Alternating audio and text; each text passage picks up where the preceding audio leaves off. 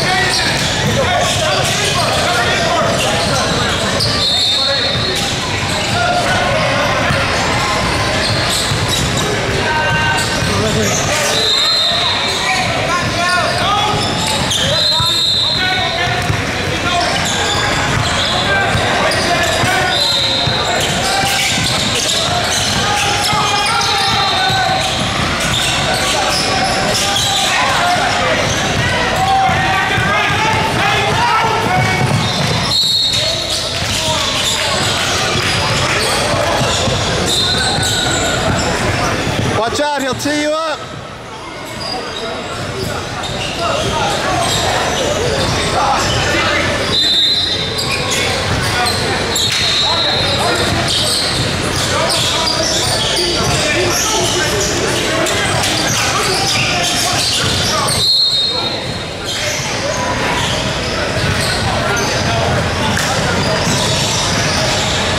Chip away, boys. Let's go. Let's talk. Work on D.